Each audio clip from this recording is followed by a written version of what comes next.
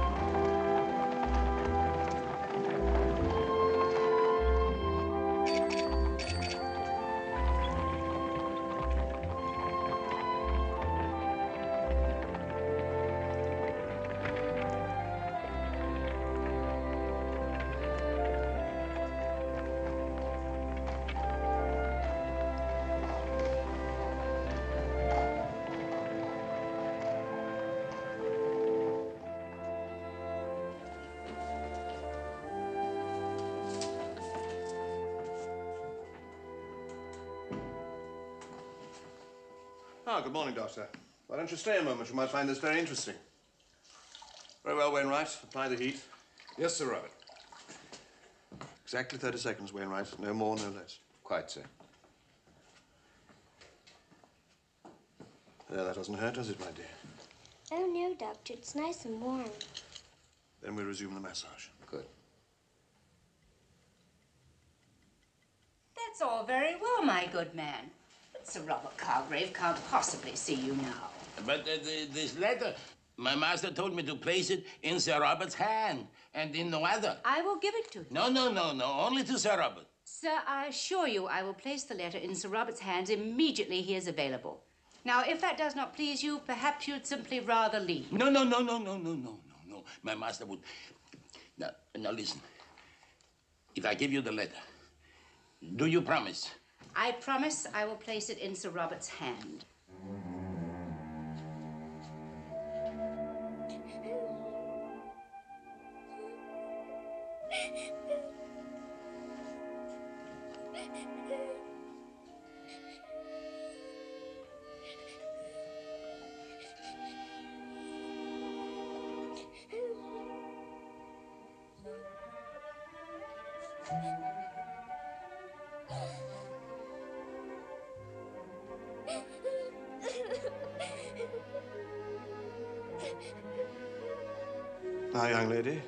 I want you to try doing that yourself. Oh, but Doctor, I couldn't. She's never been able to do that, Sir Robert. Come, come, you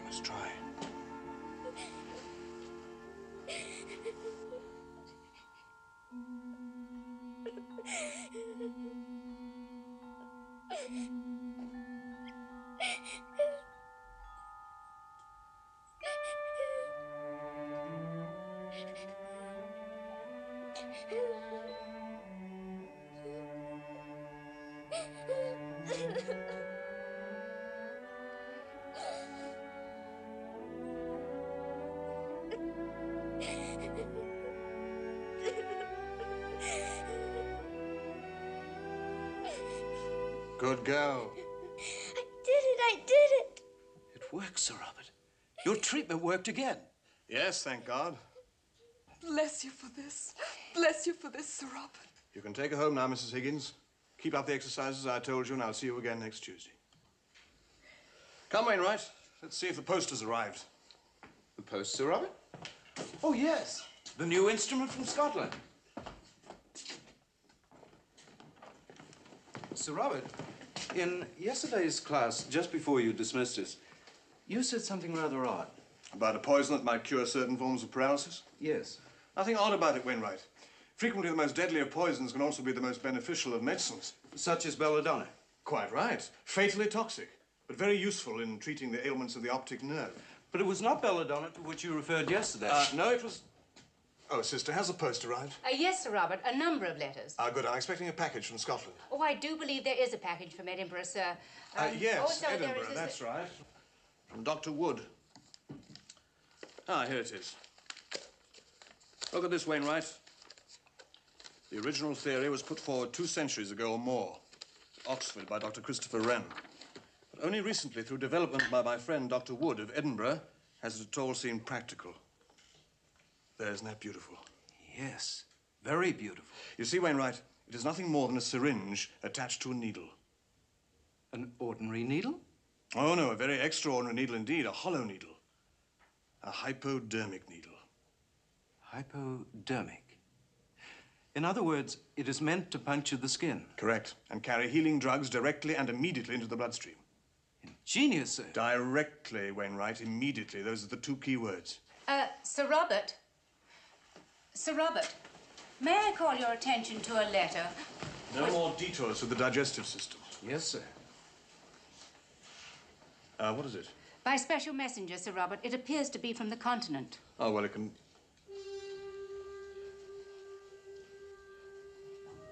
Now, wait a moment.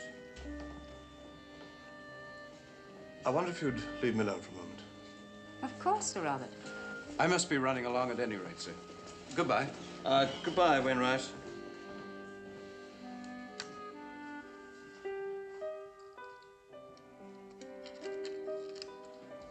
But my father forbids our marriage, Robert.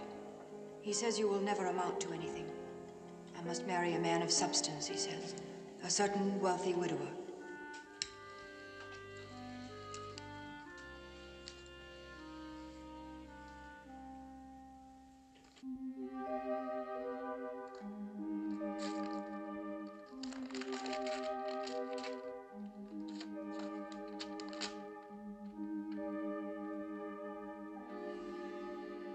Sister.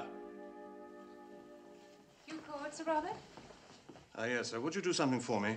Why, of course, sir. Cancel my appointments, all of them. For how long, Sir Robert? I don't know, indefinitely. And would you please arrange transportation to the region of Gorslava, Central Europe? Gorslava? Uh, yes, sir. How soon do you wish to leave? Soon. As soon as I possibly can.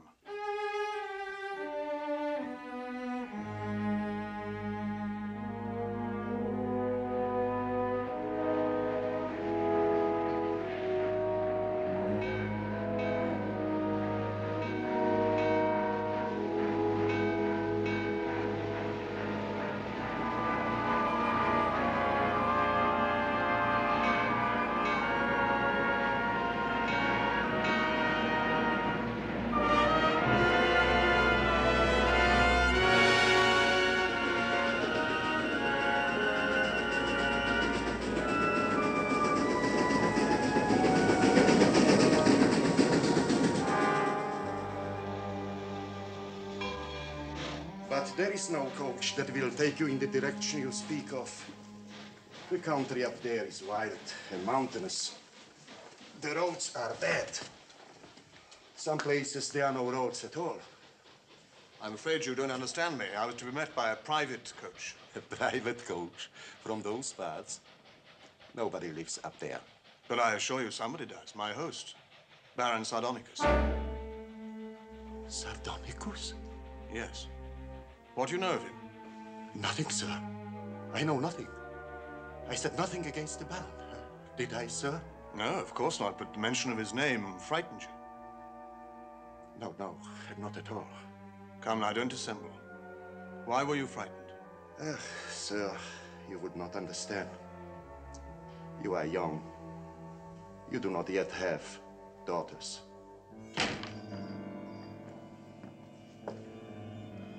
Sir Robert Cargrave, Yes. I'm called Krull, your humble servant. It was I who brought you a certain letter some weeks ago. Ah, then you're in the service of the Baroness. I'm in the service of the Baron, who is most eager to meet you. Shall we go, sir? Please.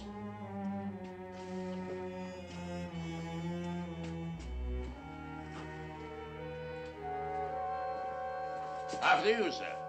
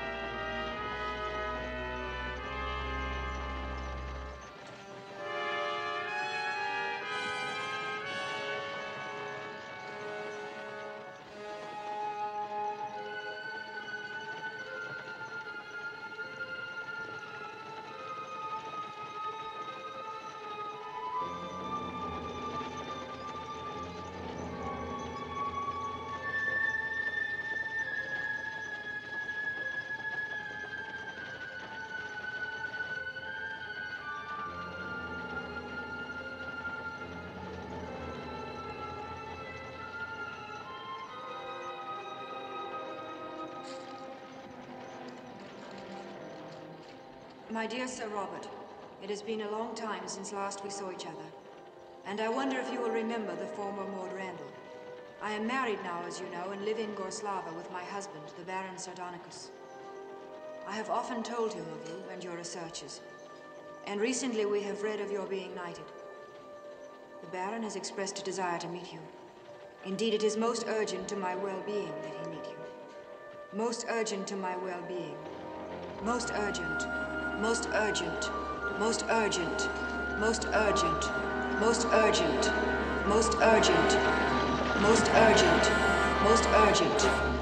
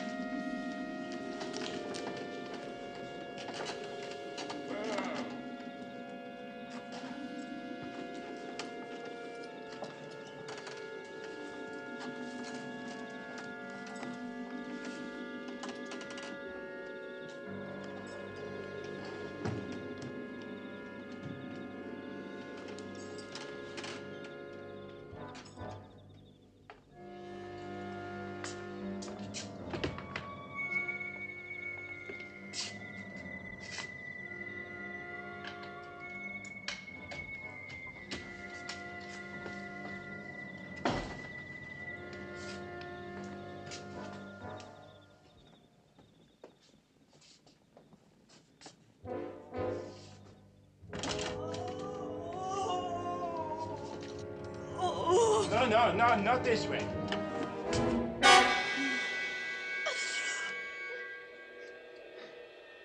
God. What is the meaning of this? They're only leeches, Sir Robert. I know what they are, but why? Among our people, they're supposed to cure certain afflictions. Witch doctor's nonsense. She might have died or been disfigured. Thank God I saw her in time.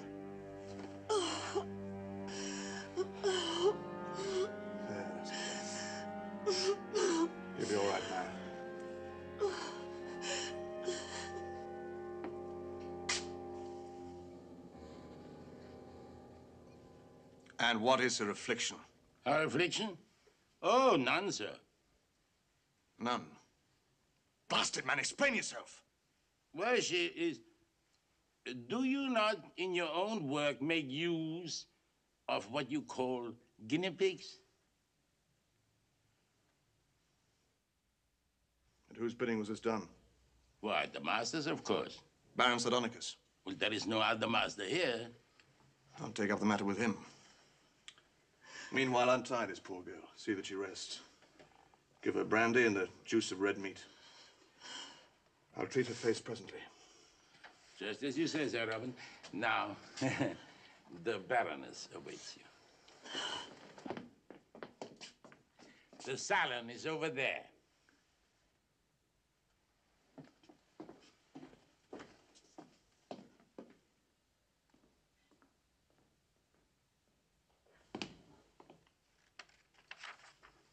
Robert. Baroness? No, please. You must call me Maud as you did in the old days. These are not the old days. Maud. That's much better. Now come sit down and tell me all about yourself. Do you miss London?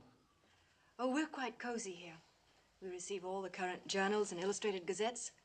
I order all the latest fashions from Paris, the most recent musical scores from Rome and Berlin, all the most popular novels.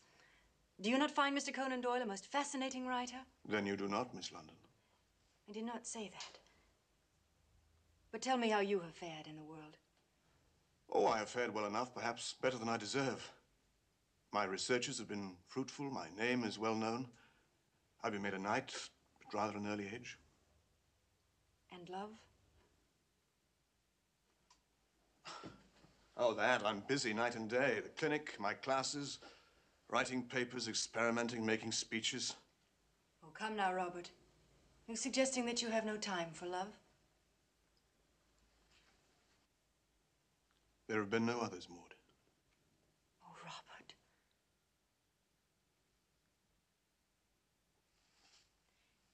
You must be tired from your journey. Yes, and rather the worse for dust. We will dine soon. In the meantime, Krull will show you to your chamber so that you may refresh yourself. I will ring for him. You wish something, my lady? Yes, would you show Sir Robert to his rooms, please? At once, my lady. Until dinner, then? Until dinner.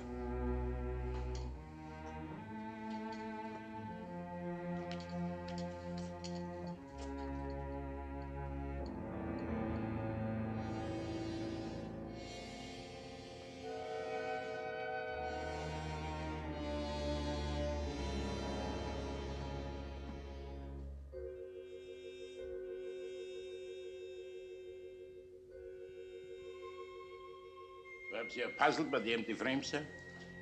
Yes, they do seem rather strange. The Baron is an unusual man of unusual convictions. In such frames, ordinary men would honor the portraits of their forefathers.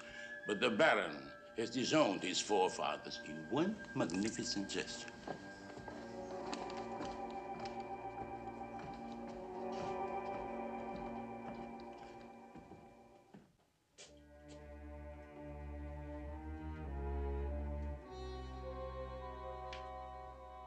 Your chambers, sir. I trust you'll find things to your liking. If not, Oh, I'm sure I will. Oh, uh, the maidservant. I must treat the leech punctures on her face. uh, she's resting, sir, as you advised. I've taken the liberty of treating her face with hot compresses and a disinfectant tincture. Ah, excellent. So you're a man of medicine, Krull. I'm a man of old work, sir. When my master says, Krull, do this thing, I do the thing, whatever it may be. Ah, that's most commendable. Thank you, sir.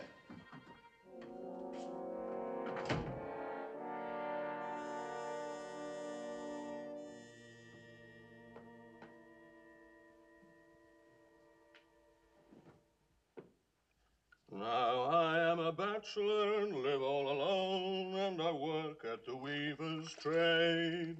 And the only thing that I ever did wrong was to woo a pretty, pretty maid. I wooed her in the summertime and in the winter too. Who is it? It's Anna, sir. I must speak to you. Just a moment.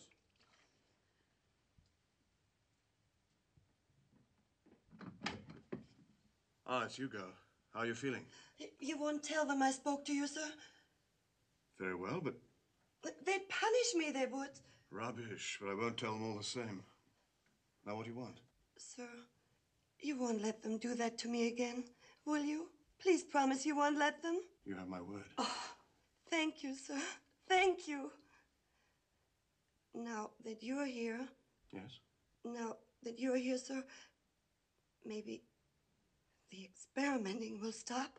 What do you mean? No more, sir. I must not be found here.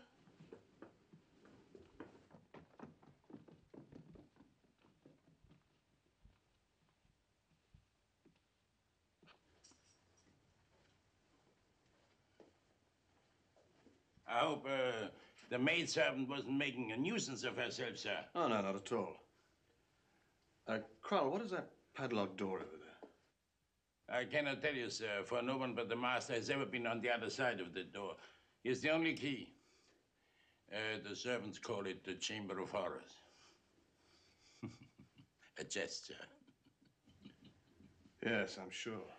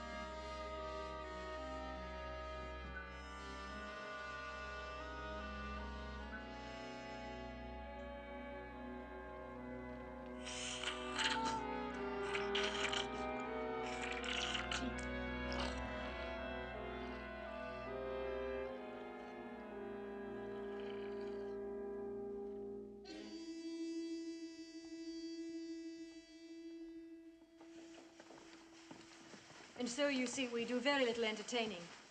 My husband hates throngs of people. Maud, Yes? in your letter, your rather odd letter, you said that my presence here was urgent. Urgent to your well being. What did you mean by that? Did I say that? How foolish of me. I suppose what I simply meant was that I longed to play the hostess again, to see a familiar face. No, Maud, you meant more than that. But what? I'm sure I really don't know, Robert. Very well. But your castle is no ordinary castle. The townspeople fear your husband, and Oh, Robert, I think you exaggerate. perhaps. But I'm very anxious to meet the Baron face.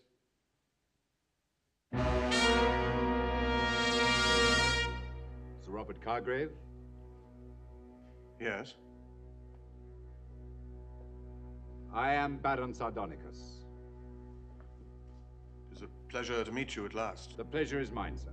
Shall we be seated?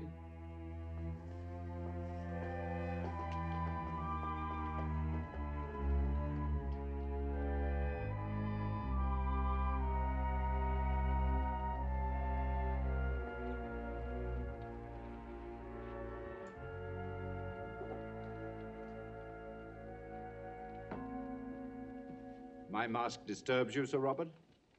It would be foolish of me to deny it. Quite so. It is an idiosyncrasy of mine, but a necessary one, I assure you. Later, I will tell you the reason for it. Meanwhile, please sample our poor fare. Not poor at all. It looks delicious. But are you not joining us, Baron? Just a little brandy. I have already dined. If that will be all for now, my lord, I should attend to a little servant problem. Yes, that will be all, Krull. Thank you, sir. Robert? Sir Robert, do tell us what's been happening on the London stage. Well, let me see. Um,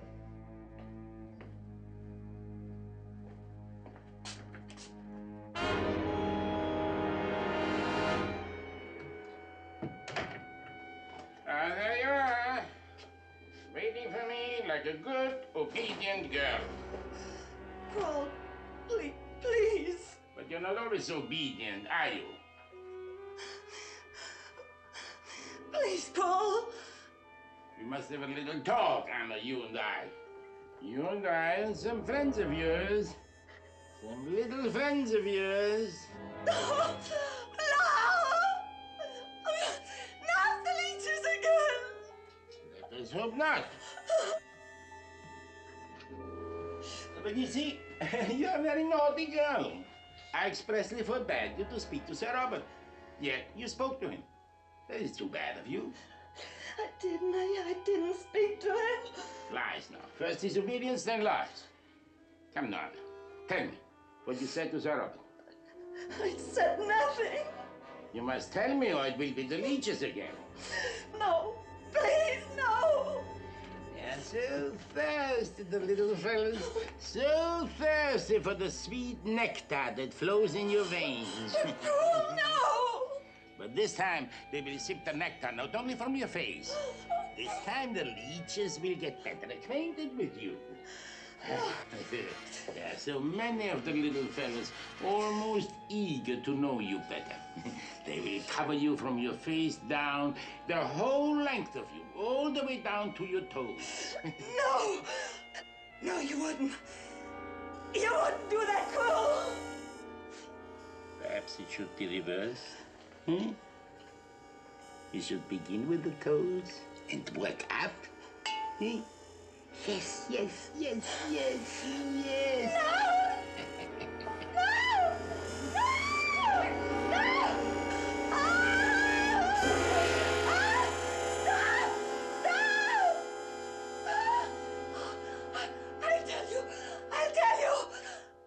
That sounds like a most interesting season, Sir Robert. Particularly the revival of Macbeth.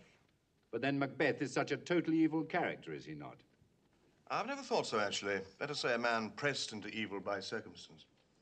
On the other hand, there is a Iago, a creature of pure evil with no redeeming qualities, who tormented Othello with, with ghoulish delight. Ghoulish, you say? That is not a term to be used lightly. A ghoul, as I'm sure you know, is a disgusting creature who opens graves and feeds on corpses. Are you suggesting that Iago did that? My dear, I'm sure Sir Robert used the term figuratively. Ah, perhaps so. And of course, the English do not believe in ghouls, do they, Sir Robert? Well, no, I... no, of course not.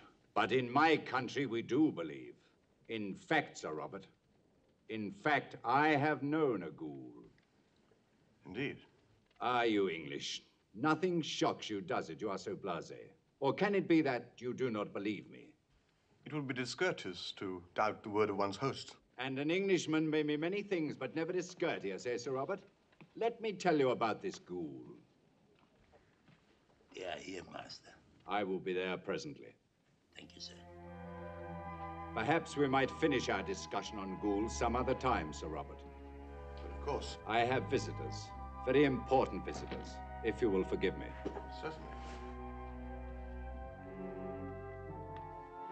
Stay together, ladies. Stay together, ladies. I've got a nice little surprise for you. This way. This way, ladies. This way, ladies. Oh, so come along. Here we are. All nice and cozy.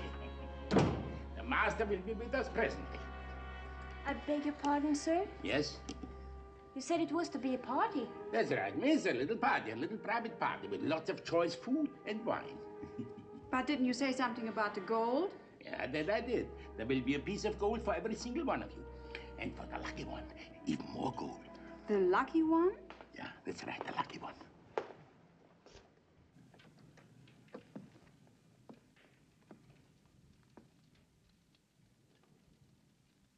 How charming to meet you, ladies. It was good of you to accept my invitation. I trust we will all enjoy one another's company tonight. Wine is a wondrous bounty, a blessing. There is a wine for every mood. There is champagne, gay and carefree. Then there's claret, full bodied and richly satisfying.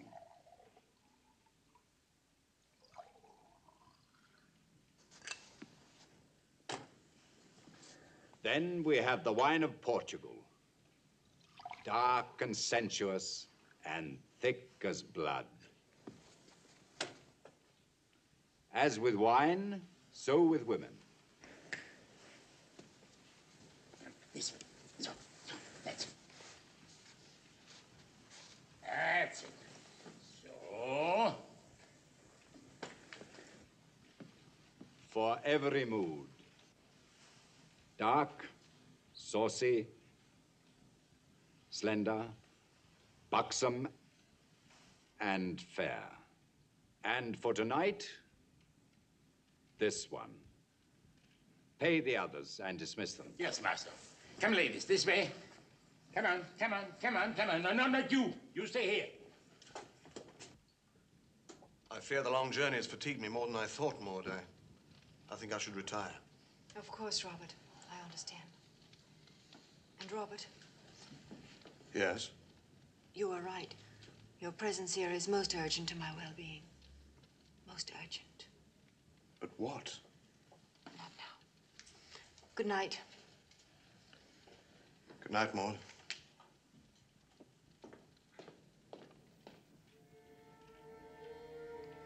You are a very pretty little thing, Thank you, sir. And, and a very shy little thing. Well, sir, I never known a fine gentleman like yourself, sir. You find me pleasant? Oh, yes, sir. Only, Only what? well, sir, you would be much more pleasant without that funny mask. A nice little girl.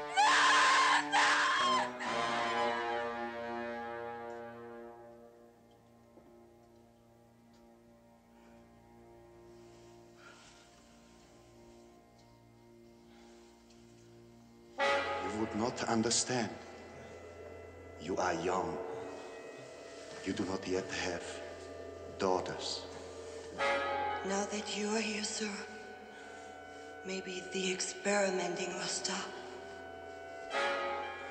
I'm a man of all work, sir.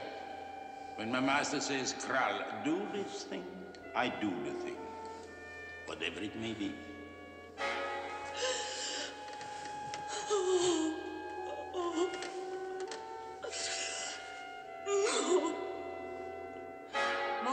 Urgent to my well-being. Most urgent to my well-being. Most urgent. Most urgent. Most urgent. I have known a ghoul, a disgusting creature who opens graves and feeds on corpses.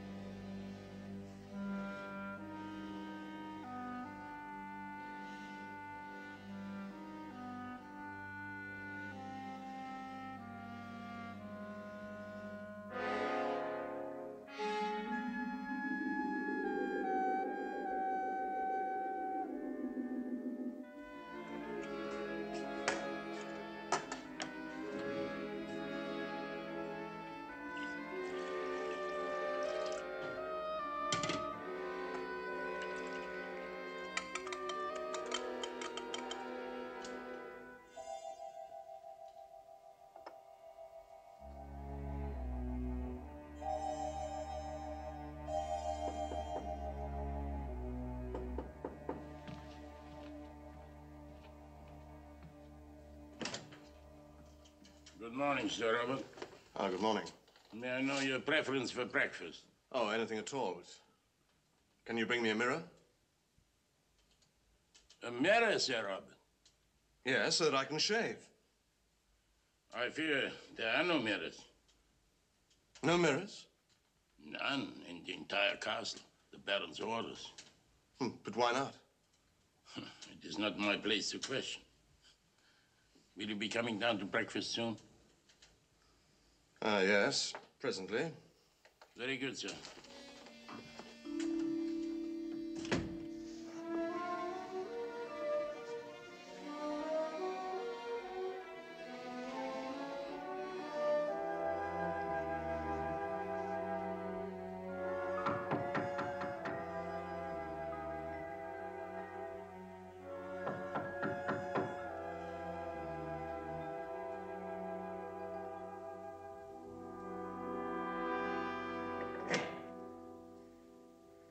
Morning, madam.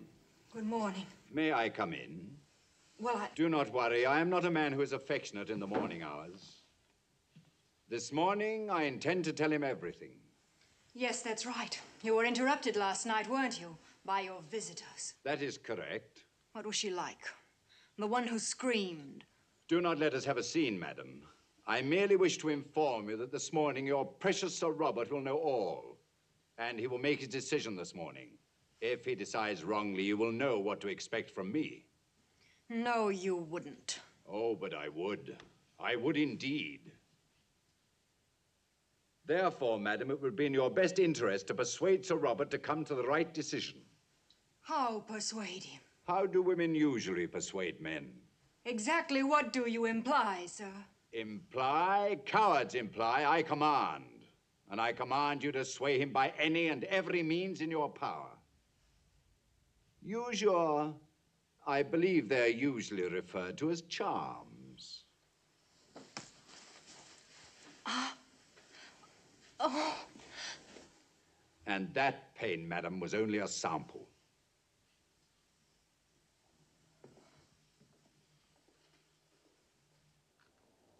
I thought perhaps you might care to walk in my garden before breakfast. It's a strange garden. There are no flowers. Ah, yes. Flowers grow poorly here. Only Earth's ugly children flourish, the weeds.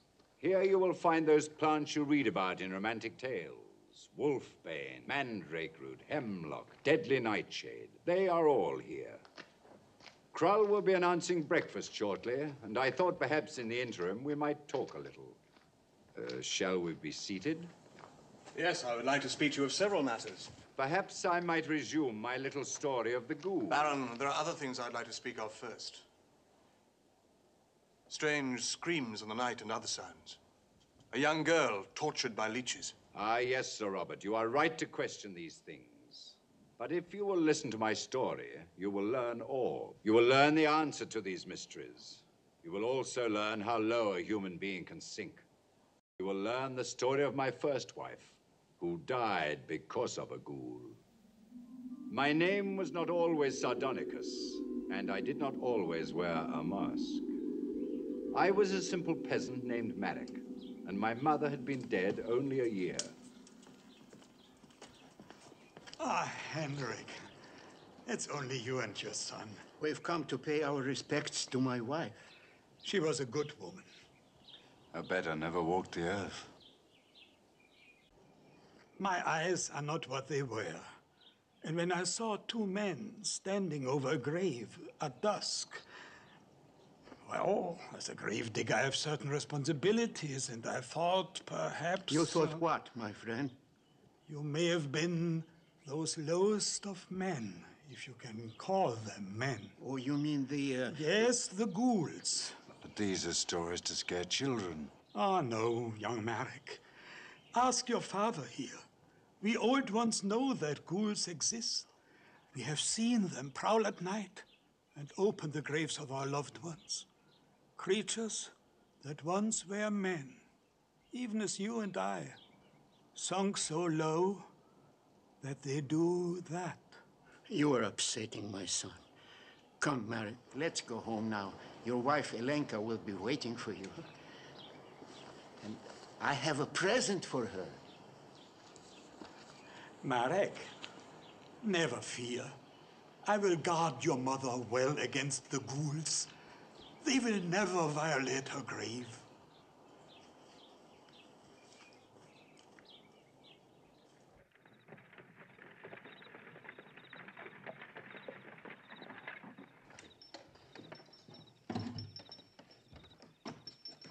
What kind of present do you have for Elenka, Father? Oh, wait and see. She is so fond of pretty clothes and trinkets, things I cannot afford to give her. I know, I know. That is why I. Oh, Elenka. Well, there you are. Took you long enough. Is our meal ready, Elenka? I have eaten. You can heat up what's left. Doesn't matter. I'm not hungry. Oh, Elenka, my little one. What? When I was in the city yesterday, I bought something for you. Something that might make you very happy. You did? Yes, let me see. No, of course. I wore that lovely waistcoat my wife made for me before she died. It's in the pocket. I'll get it. What is it? But what is it? Be patient.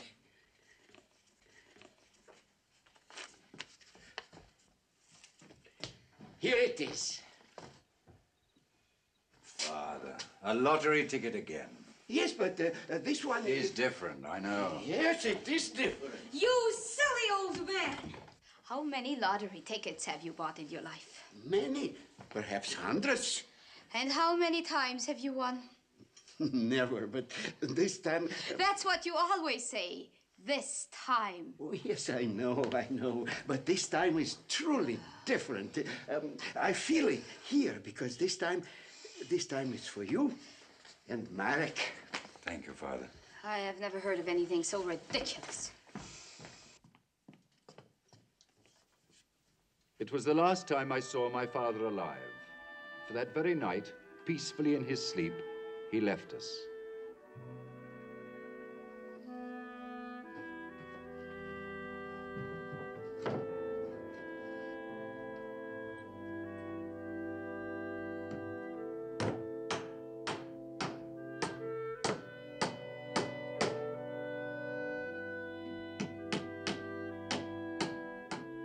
Months that followed were hard.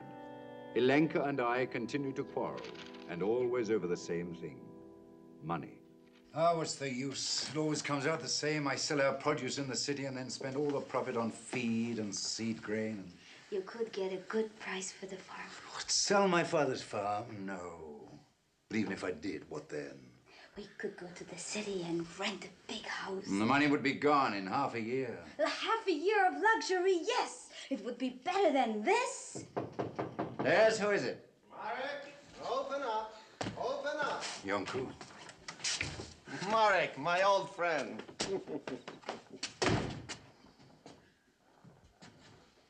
Your friend is drunk.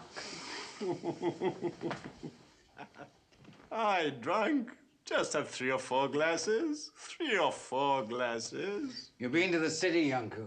Yes, I have been to the city, and I have great news for you. Great news for my old friend. What news? News of money. Money? Yes, money. Lots and lots of money. For heaven's sake, man, what do you mean? I mean this. Oh, what is it? the winners. The winners? Yes, the lottery. The lottery winners. The lottery? Yes, you see here, there's a number, and there's your father's name. And next to it, you see the number seven, seven, zero, seven. Seven, seven, zero, seven. But that's right, that was it. Mark, you, you mean your father's name? Yes, Selenko, it has one, hundreds, maybe thousands. Mark, Mark, how glorious. Tomorrow morning at dawn, I'll go to the city. I'll redeem the Where is the ticket?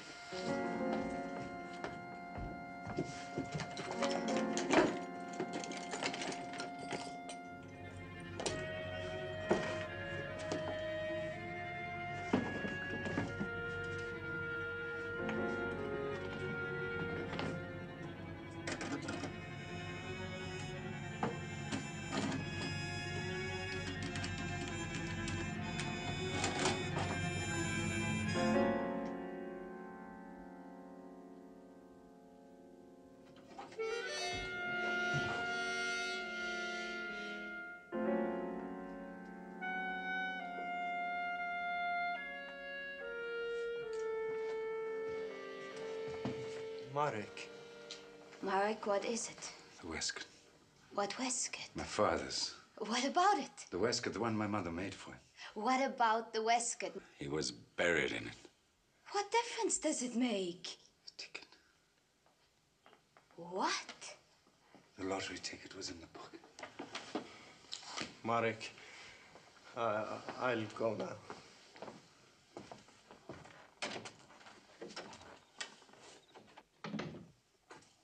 Mark? Yes.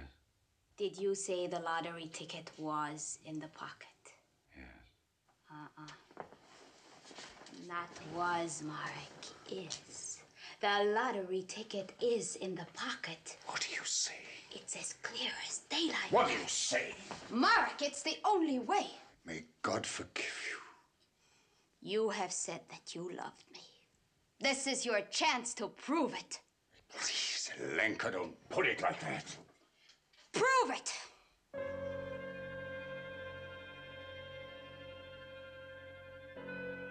And so that night, Sir Robert, I became a profaner of the dead, a robber of graves, a ghoul.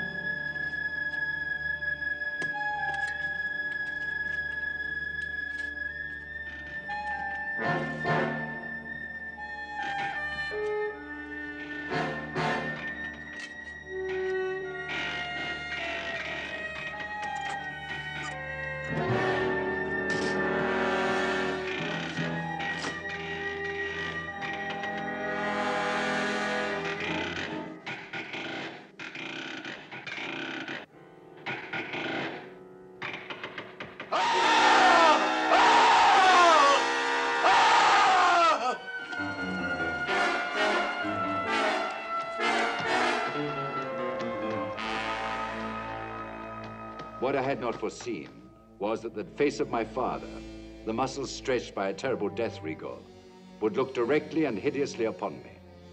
The dead lips drawn back in a constant and soul-shattering smile. Suddenly I realized I had not performed my ghastly mission.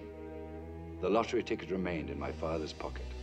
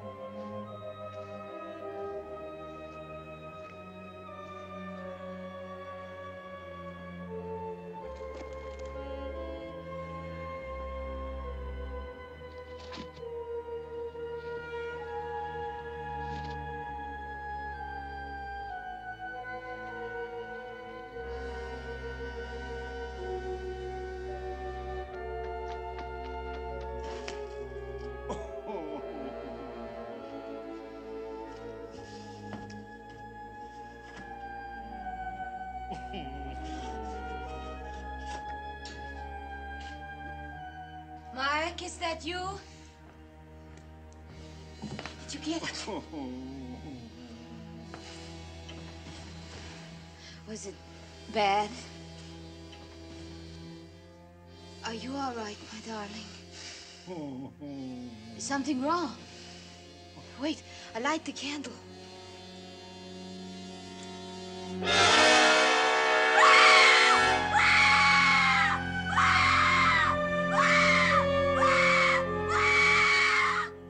Merciful God. Ever since that night, Sir Robert, my face has been as you see it now. A replica of my dead father's, the lips drawn back in a perpetual mocking grin. I have never been able to close my mouth. The muscles are immovable, as if held in the rigor of death. Incredible. And yet your power of speech does not seem to have been impaired. Ah, but it was, Sir Robert, very much impaired. For a long time, I could hardly speak at all. Only through arduous training by the finest teachers of diction in the world did I finally master the art of utilizing dormant muscles of the throat and palate. I literally learned to speak all over again.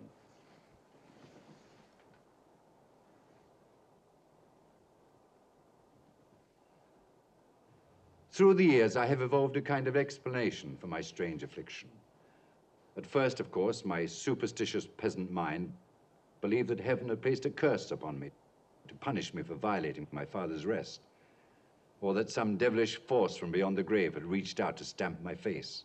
But at length I began to believe it was the massive shock that forced my face to this state, and that my great guilt had also helped to shape it even as my dead father's face was shaped.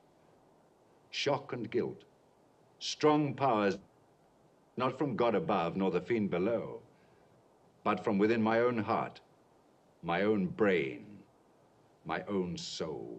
But your wife, Elenka. She died by her own hand.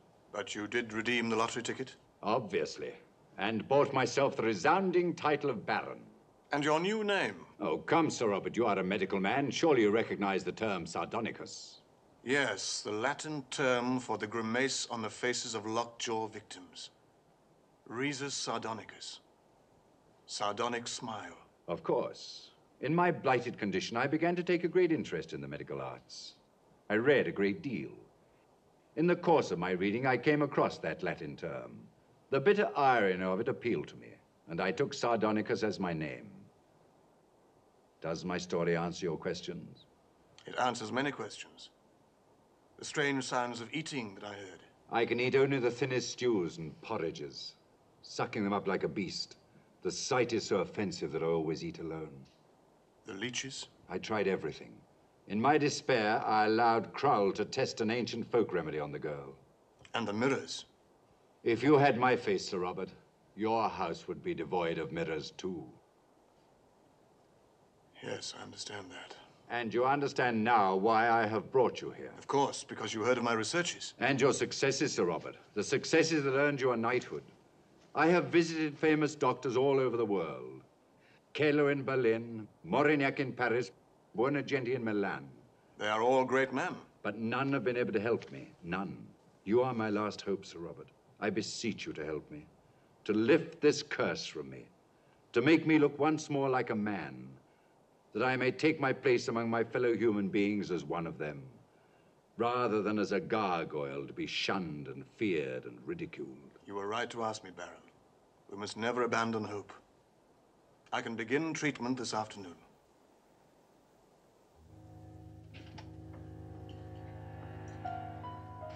Hey, come on, come on, hurry up.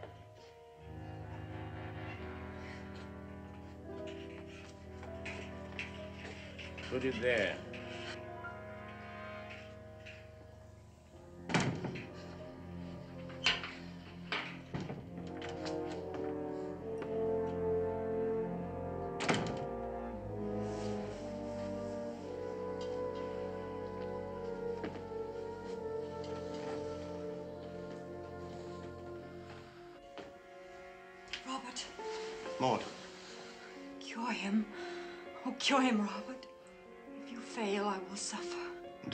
Could feel no other way. No, you, you don't understand. If you do not heal him, he will punish me. But surely he wouldn't beat you. I wish he would be content with a mere beating. His cleverness knows a more hideous torture. But this is monstrous. I shall demand that he... No, no, say nothing. If you do, he may embellish the punishment. But what manner of... No, say nothing. He's waiting for you.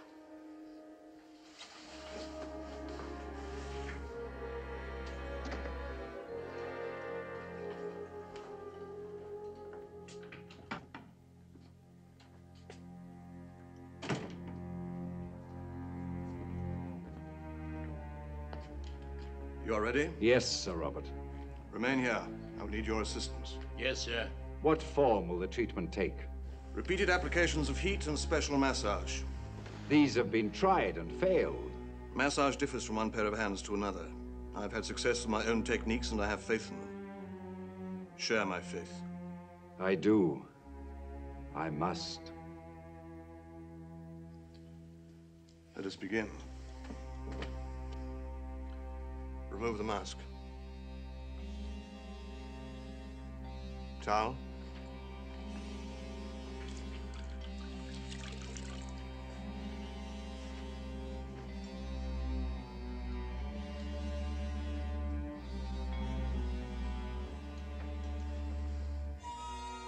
Thirty seconds, Krull. No more, no less. Yes, sir.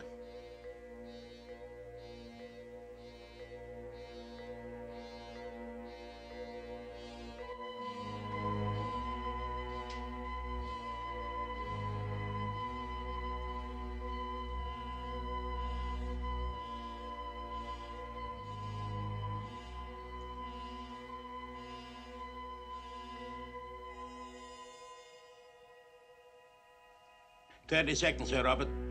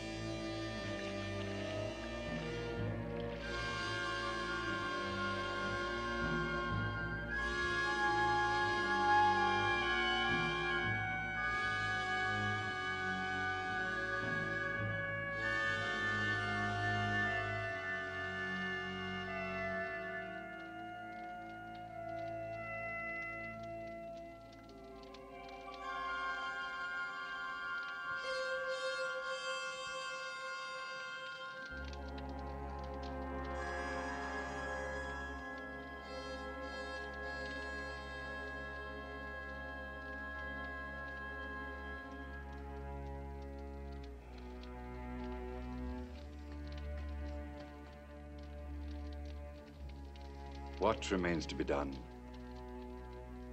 Nothing.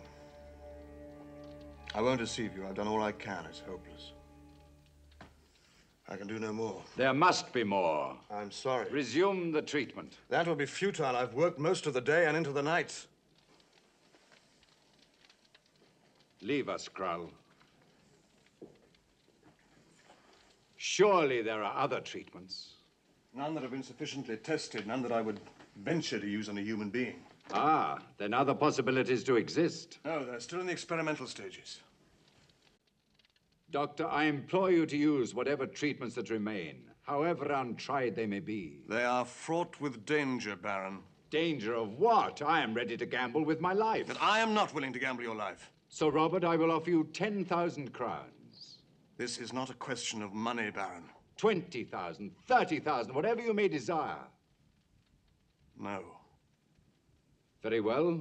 Then I must ask you to come with me.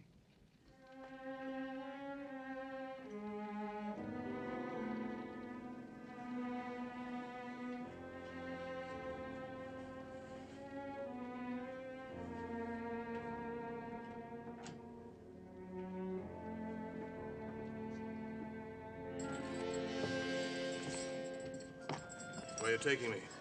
Patience, Sir Robert, patience. All will be made clear to you soon. This castle is very old, Sir Robert. It was built in a dim age of fearful barbarity.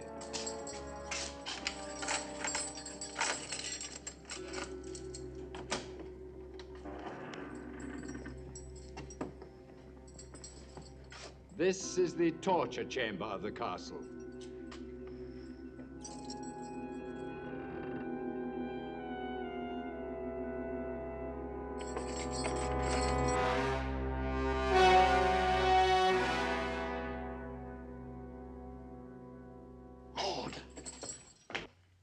Done to her?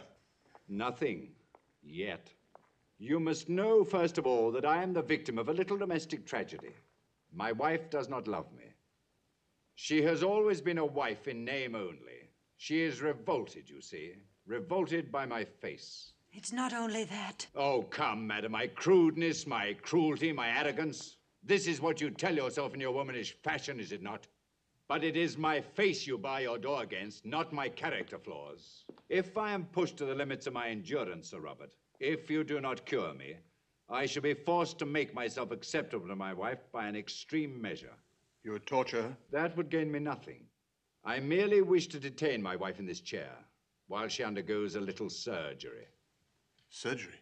Yes, surgery which will make her more sympathetic to my plight. And for this purpose, I have enlisted the services of a man who excels at surgery. You mean me? No, no.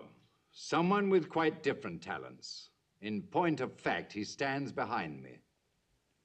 Krull? But he's no man of medicine. I'm a man of all work, sir. When my master says, Krull, do this thing, I do the thing, whatever it may be. I seem to remember you saying, Sir Robert, that this was most commendable. What devilish surgery do you plan? Something quite simple, really. The risorius muscle, that which controls the act of smiling. A few deft incisions with a sharp knife, and Maud will look like me. No. That lovely face will resemble mine. And when her own beauty is transformed into hideousness, when she herself is a monster shunned by humankind, how can she then bar her door to me? Krull, begin. Thank you.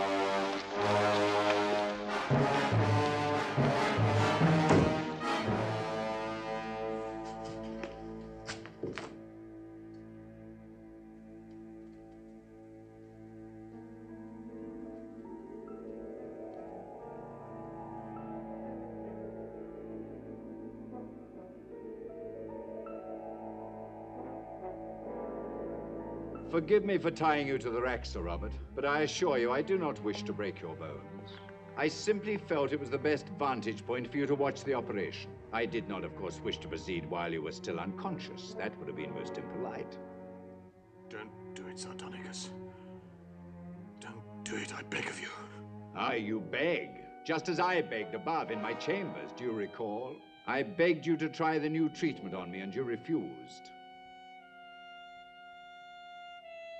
Krull, you may begin. Master, Yes? Yes. I have done many things for you. Things out of nightmares. But her face? What about her face, Krull? It is so beautiful. Are you quite certain? Yes, I'm quite certain. Don't tell me, Krull, that you object. I only meant. Because you well know what happens to people who raise objections to my acts. You know what happened the single time you questioned my authority many years ago. Or have you forgotten that once you had two eyes? No, I have not forgotten. Then begin.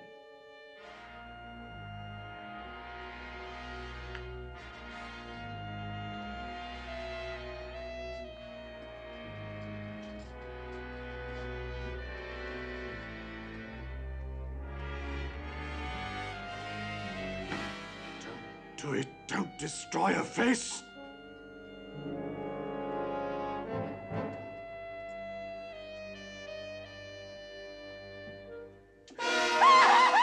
Stop it! Stop it, Krull! Sardonicus. I'll, I'll do whatever you say. Release the Baroness, Krull, and then release our honored guest here. You have made a very wise decision, Sir Robert.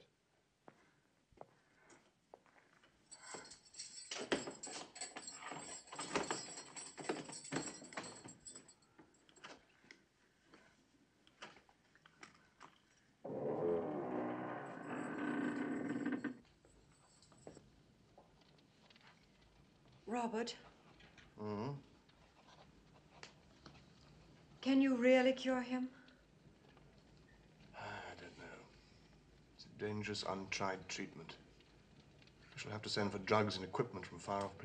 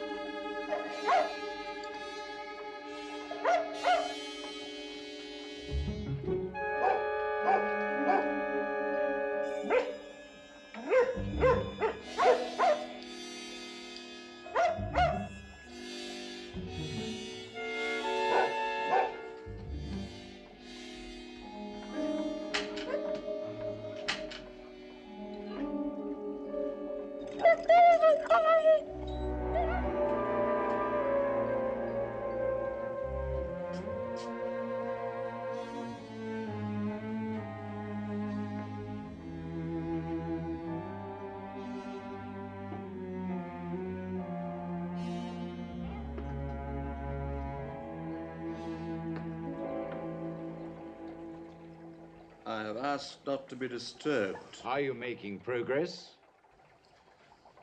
Perhaps. I saw Krull and a dog. You will see many such dogs before I'm finished, Baron. Doctor, are you preparing a cure or a poison? Sometimes they're one and the same thing. I warn you that if I'm you do not your succeed, warnings don't frighten me anymore, Baron. then I demand an explanation. Very well. This tropical plant is known as Strychnos toxifera. Centuries ago, the explorer Magellan wrote of a substance used on darts by the natives of South America. It killed instantly, dropping large animals in their tracks.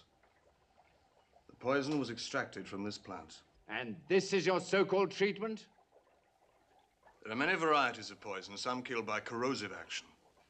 But this, this kills by bringing about a total relaxation of the muscles, particularly the muscles of the lungs and heart. And when they stop, life stops. However, of recent months, I have asked myself whether a dilution of this deadly poison might not beneficially slacken the rigidly tense muscles of paralyzed patients. It was only a theory, and a flimsy one at that. Much too dangerous to be used on a human being. I see. I'm afraid a long period of research lies ahead of me, Baron. I wouldn't want to fail. That is correct, Sir Robert. See to it that you do succeed.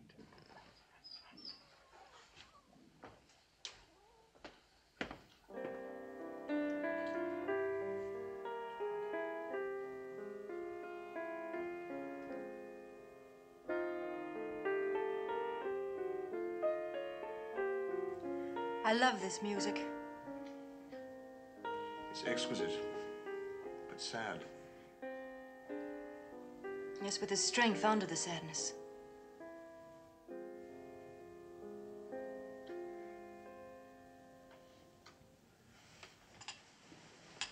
That was very beautiful, Maud. You and your music are the only beautiful things in this place.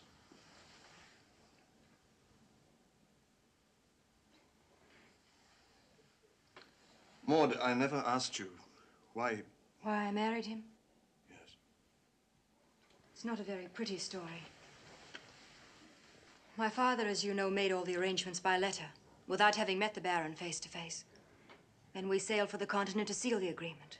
But surely after meeting this brute, Oh, yes. Even my father, who worshipped money, changed his mind upon meeting the Baron. But my father had gambled heavily and was sunken in debt. He'd even misused certain funds that were entrusted to him. The Baron offered him both a reward and a threat. yes, the Baron is fond of threats. He offered to pay all my father's debts. And he also threatened to expose him as an embezzler. So your father forced you into this unsavory alliance? No, the choice was mine. I did it to save him. Oh, my dear. Ah, what a charming tableau. Sir Robert, Yes. Krull informs me that today a dog seemed to survive your injection. Krull is a reliable informant. Then the extract of the poisonous plant has been made safe. Apparently, but I need a few more days. A few more days? Why, if the dog lives? Men are not dogs, Baron. I must be certain. I am certain enough for both of us. Doctor, I insist that you perform the treatment tonight. That the risk is too great. I refuse. Madam, take this. But why? The room upstairs. Open it. What you allow no one except yourself to open that door. Tonight, I'm prepared to make an exception. Will you go? We will follow.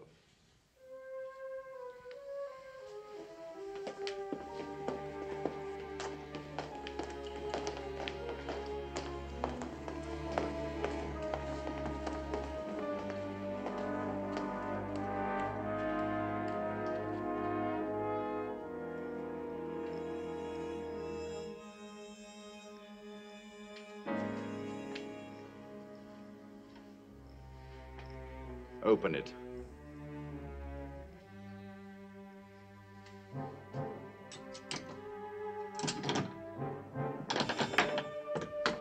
Go in. Do not be afraid.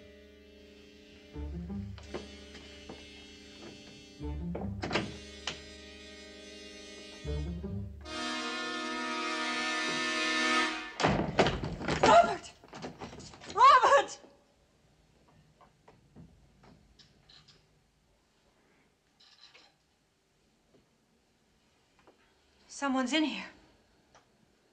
I sense it. Someone's in here. I know it. Why do you just stand there?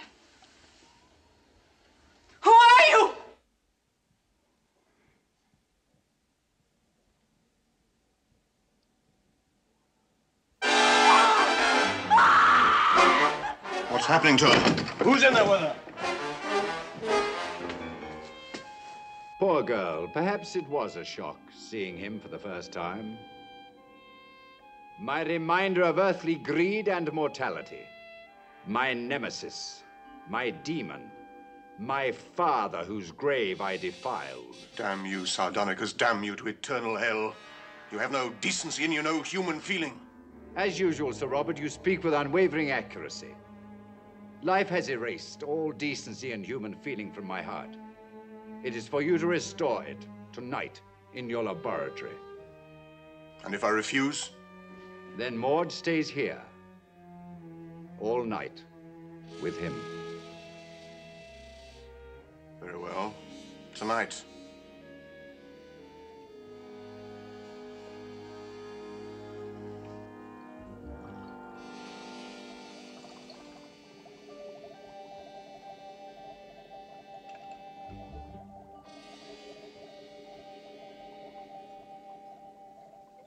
What is that strange instrument? A new invention called a hypodermic needle. The South American natives use this extract to poison their darts. You might say this instrument is my dart. I must warn you again, Baron, this distilment has never been used on a human subject. It may kill you. I urge you for the last time not to insist upon its use. You seek to frighten me, Doctor, to plant distrust in my heart. No, no, Baron. But theoretically speaking, what is to prevent me from injecting the undiluted poison into your blood and killing you here and now? Three things. First, your silly code of ethics as an English knight. Second, the sanctimonious oath of your profession. And thirdly, thirdly, the knowledge that if I die, Krull has orders to put both you and my wife to this slowest and most hideous of deaths in the torture chamber below. Then I accept your terms, Baron. Now, will you please come with me? Where are we going? Into your past, Baron. Into your youth.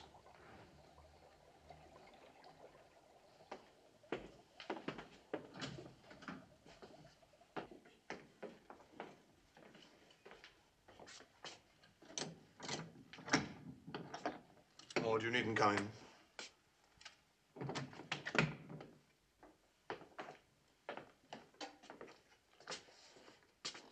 We have some light, please, Krull?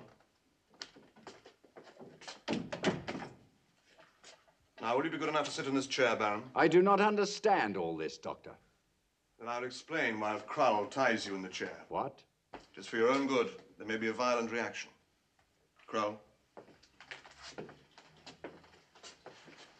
There is a healing of the flesh and a healing of the spirit.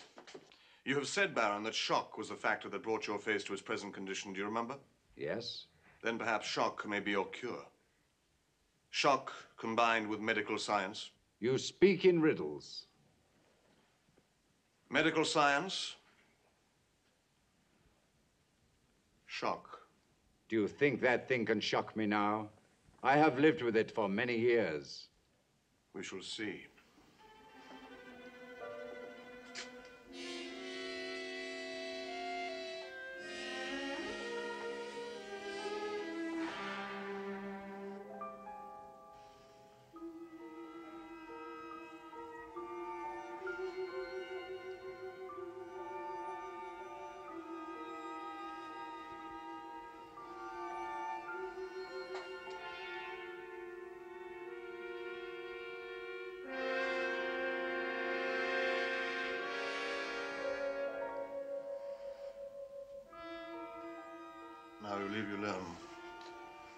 was you alone in that grave years ago.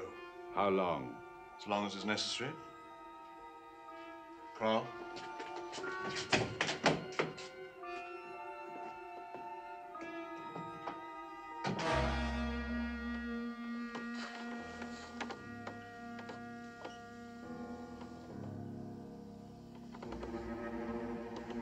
No.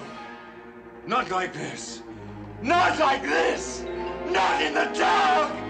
Not in the dark! Not like this! Let him out. in the dark! All my work. But he's suffering. That needle, you are poisoning him, you are killing him. Not in the dark! Ah! Ah! Ah! He's dead! He's dead! Master.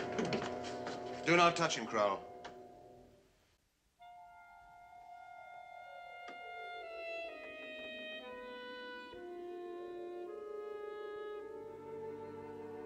No, Baron. Do not speak. The muscles of your face are so relaxed it is beyond your power to move your lips. If you were to attempt it now, it would destroy all our good work. This condition will pass in a few minutes.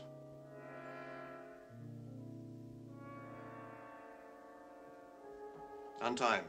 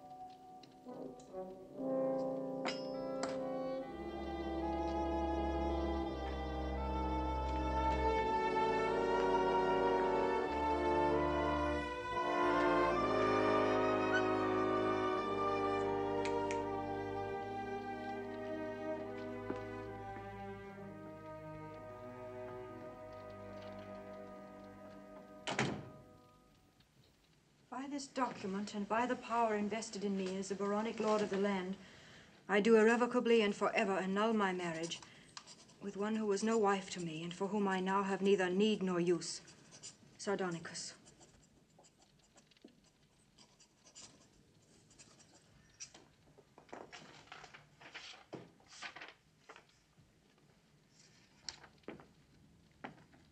You have fulfilled your part of the bargain. Name your fee, for I owe you much. No, Baron, you owe me nothing.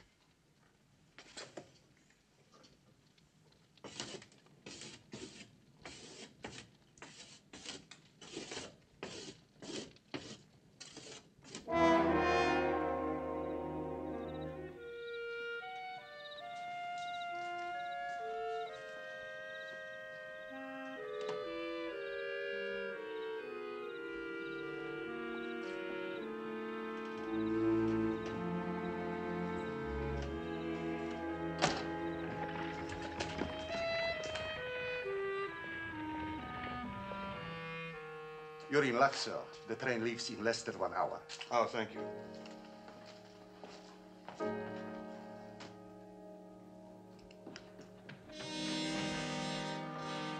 Sir Robert. I thought we'd seen the last of you, Krull. You must return, Sir Robert. He needs you. Impossible. We would miss the train. But you do not understand. He cannot open his mouth. Nonsense. But it's true.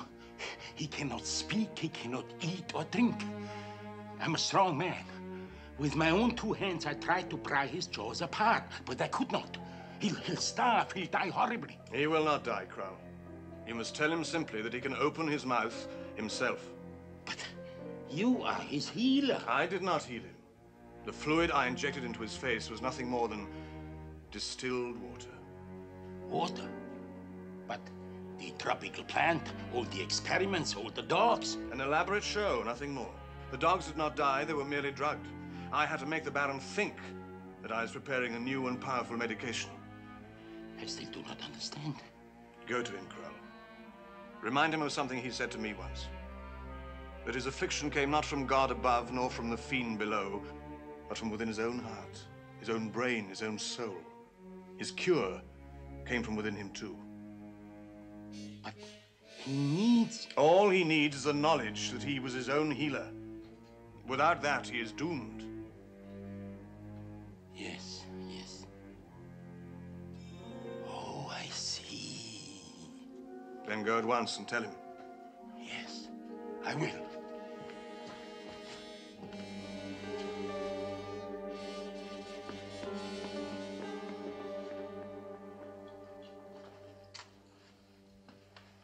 Is it true, Robert, that the medication was nothing more than water?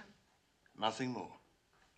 You see, I knew that after all the best massaging techniques of the world's foremost physicians had failed, I would have to work not on the Baron's physical self, but on his mental self.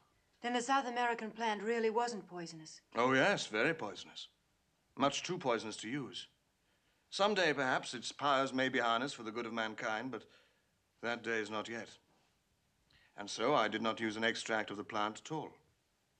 Only water. Only water. And his own mind. And that's how the story ends, with the lovers living happily ever after. But has Mr. Sardonicus been punished enough? Or don't you agree with me that such a miserable scoundrel should be made to suffer and suffer and suffer when you think what he did to his wife and to those girls and about those leeches? I think ordinary punishment is too good for Mr. Sardonicus. If you feel that way too, if you want to show him no mercy and punish him as he deserves, then hold up your punishment poll ballot with the thumb pointing down, like this. If, on the other hand, uh, you're one of those I wouldn't hurt a fly kind of people, one of those sweet, nice, kind souls uh, who would let Mr. Sardonicus go free, you should hold your ballot with the thumb pointing up, like this. And now we're ready for the voting. No mercy or mercy. Hold the ballots high, please. Oh, come now. Hold them up. Please? Oh, that's better. Uh, the lady in the ninth row, a little higher. The little boy in the back, will you please sit down so I can count the cards behind you? Uh, that young couple on the left, is that one vote or two that you're casting? Two votes? Uh, thank you. Thank you all very much. Hmm. Mercy, no mercy. 17, you carry the three. Subtract 40. No mercy. So be it. You have given the verdict. You have made the decision, and the majority of you have sentenced Mr. Sardonicus to further punishment. Mr. Projectionist, let the sentence be carried out.